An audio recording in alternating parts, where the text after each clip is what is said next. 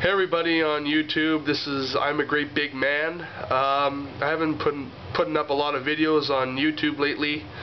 Uh, I've been fighting off a cold, I've been looking for a new job, and I just got my new license, which allows me to drive by myself, so that's pretty cool. Um, just want to give you an update about my train set. It's officially dead. It uh, quit working, and uh, it's really pissed me off. So I'm going to show you over here what's wrong with it. So so here's my train set, and uh, yeah, still looks normal. I just put some fake snow on here to make it look wintry. So if I take you down here, take you to these dead blocks, this one here is for the main line. So I'll put that up there. I'm going to turn the transformer on. The diesel right there doesn't move. You know, it's like, it's screwed. So we'll shut that off. I'll grab this right here and I'll put it on this siding which is right here. And this one here is for this track.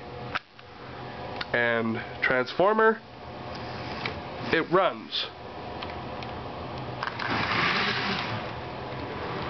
The diesel has not been running a while so you know this track works.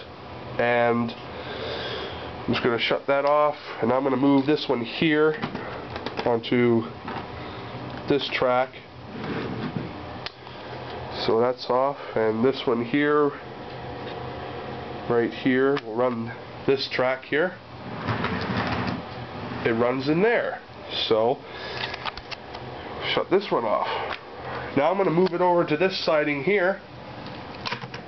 It's probably too sharp of a curve so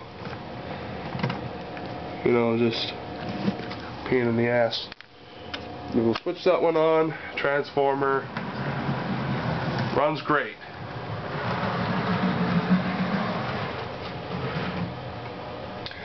So we'll shut that dead block off and then we'll move it back here, put it back on this main, on the main line,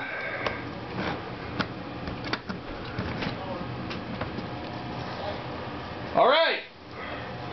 Sorry about that. Alright, main line's on, nothing happens. You know, it's dead.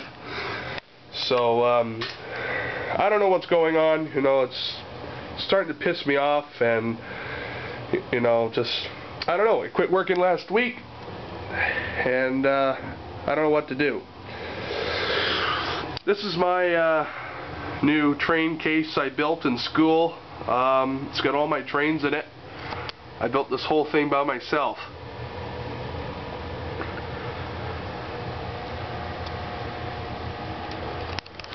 So that's all the updates I got for today. The date is uh, March 26, 2011. So my train set is hooped. I don't know what to do, but uh, give me an opinion what I should do. Should I fix it or should I get a new train set? So uh, leave a comment if you if you want to, and you know, it's your decision. So this is I'm a Great Big Man signing out.